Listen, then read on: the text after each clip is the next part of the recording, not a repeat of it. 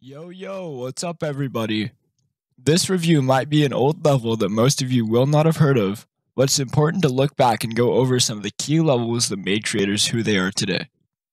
Back in mid 2.0, almost every level looked something like this, and it's interesting to see how much production has involved with implementation of new techniques or tools in the editor. Let's just get right into it. Neuroshock by Venom and Gusearth is a mid 2.0 hard demon entered into Vibrant CC6.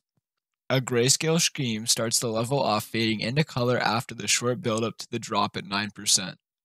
Several block types compose the majority of the level, though it feels messy due to the many clashing structures. Ground spikes add to this cluttered feeling with solid black masses covering nearly half the screen at exactly the halfway point. One of the strongest sections would be the 33% ship that is well organized, focusing less on crowded decoration and more on the simpler but meaningful design, creating a polished finished product. I can understand that the gameplay is fairly outdated compared to featured levels today, but it's confusing to learn and inconsistent once you know what you're doing. The obvious example of this is the duel at 84%, where several timings are finicky, including a luck based last click in my eyes. Invisible portals did not help this case when your gravity is swapped in an unreadable zero opacity portal. Indication arrows could have been used, but the effectiveness is questionable because they would get lost in the clutter. Falling just short of the mark, this collab unfortunately failed to place within the top 5 for this very difficult creating competition. Anthrax, now Pencil Dog, was mentioned as a large inspiration which was apparent after checking out a few of his levels.